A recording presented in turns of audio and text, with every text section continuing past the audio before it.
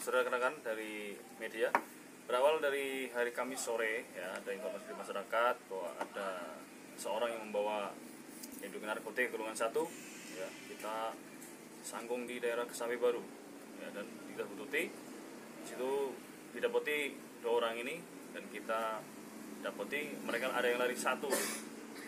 A inisial A lari ke kebun tangkap di situ geledah dibuang dulu ke BP nya cuman kita dapati perkebunan pisang itu di situ.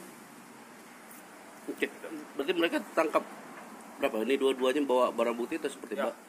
dua-duanya yang bawa sih A cuman mereka berdua saling sum-suman belinya Buat dipakai sendiri atau buat sementara ini mau dipakai sendiri pakai sendiri belum mereka ya? nanti kita kembangkan